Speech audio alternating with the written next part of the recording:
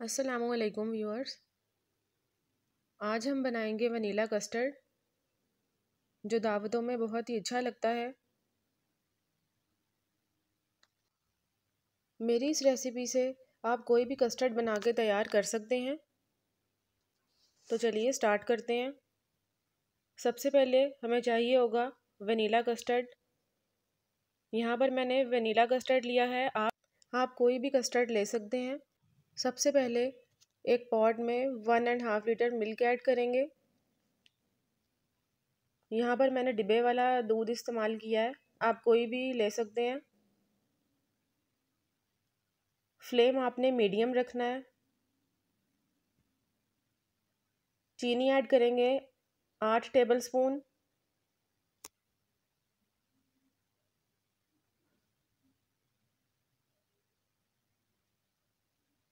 Viewers, आप याद रहे, आपने फ्लेम मीडियम ही रखना है। अच्छे से मिक्स करेंगे। चम्मच आपने हल्का हल्का इसमें चलाते रहना है।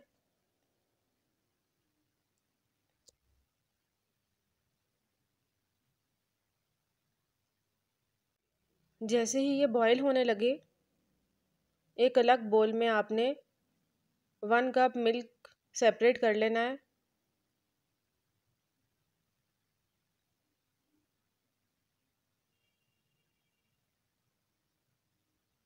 अब जो दूध हमने सेपरेट किया है, उसमें हम कस्टर्ड पाउडर ऐड करेंगे।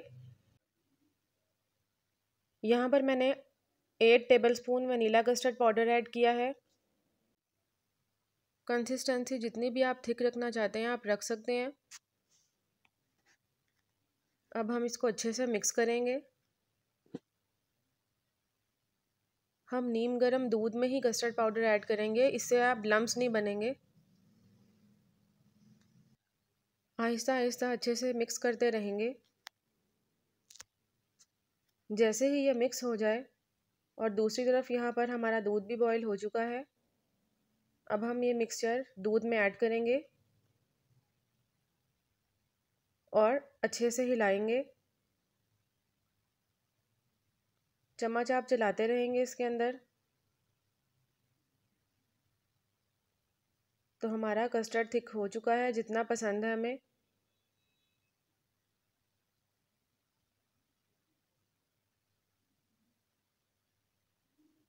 ये देखिए व्यूअर्स जो कंसिस्टेंसी चाहिए थी, वो हमें मिल गई है। अब फ्लेम इस पॉइंट पर आकर हम बिल्कुल लो कर देंगे।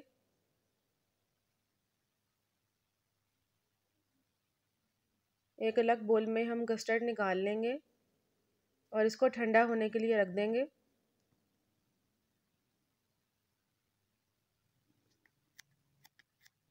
तो अब हम इसके इसके लिए जेली तैयार करते हैं। एक अलग पैन में दो कप पानी ऐड करेंगे।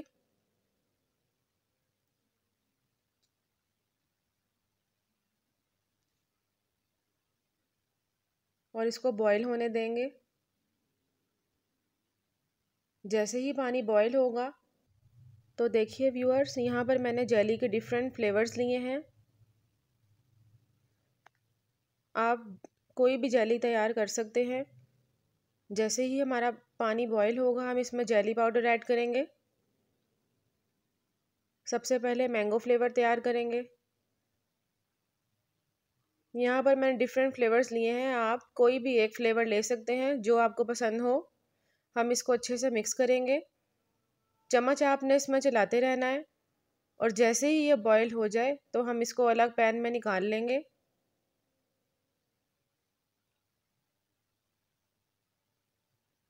तो हमारी जेली तैयार है।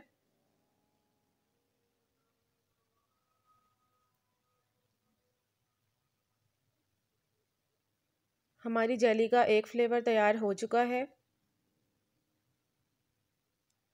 अब हम इसी तरह सारी जेली तैयार कर लेंगे। यहाँ पर मैंने बनाना फ्लेवर स्ट्रॉबेरी फ्लेवर और मैंगो फ्लेवर लिया है। इसी तरह हम सब जेली तैयार करके एक अलग प्लेट में निकाल लेंगे।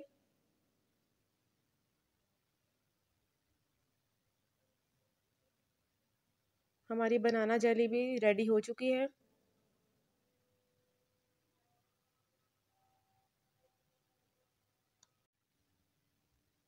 इसी तरह हम अपनी सब जेली रेडी कर लेंगे।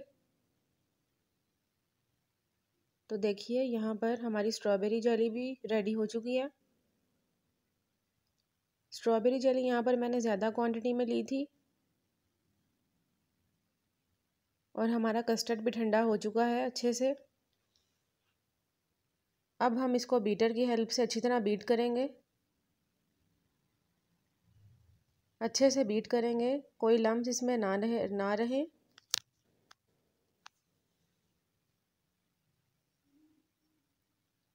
देखिए इसका टेक्सचर कितना क्रीमी है।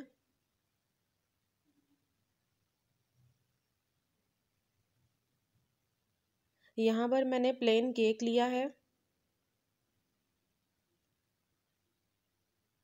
आप फ्रूट केक या कोई भी केक आप ले सकते हैं यहाँ पे, जो आपको पसंद हो। आप इसमें फ्रूट्स भी ऐड कर सकते हैं। एप्पल, बनाना, कुछ भी ऐड कर सकते हैं। यहाँ पर मैंने सिर्फ़ केक से ही ये सिंपल कस्टर्ड तैयार किया है। सबसे पहले हम केक की लेयर लगाएँगे।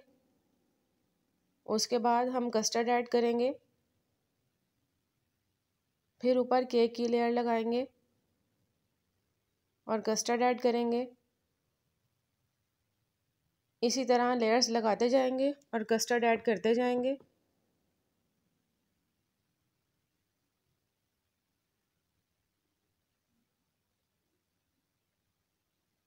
यहाँ पर हमारी जेली भी ठंडी हो चुकी हैं। आपने इसको ठंडा करने के लिए फ्रीज़र में रखना है। अब हम इसको क्यूब्स की शक्ल में काट लेंगे।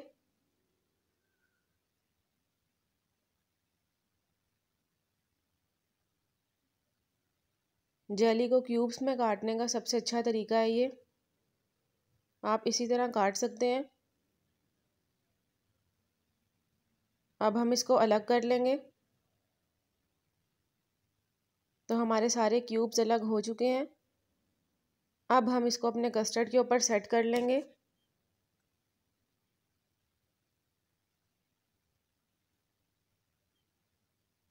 इससे हमारा कस्टर्ड दिखने में बहुत अच्छा लगेगा। आप चाहें तो अलग भी जेली रख सकते हैं साथ और इसके ऊपर भी ऐड कर सकते हैं। तो बहुत ही मज़ेदार हमारा कस्टर्ड रेडी हो चुका है। अब हम इसको सर्व करेंगे। उम्मीद करती हूँ व्यूअर्स आपको मेरी आज की ये रेसिपी बहुत पसंद आई होगी। काइंडली मेरे चैनल को सब्सक्राइब करें लाइक करें शेयर करें। बेल आइकन प्रेस करना मत भूलें। इससे आने वाली हर वीडियो का नोटिफिकेशन आपको टाइम पे मिलता रहेगा। अल्लाह हाफिज़।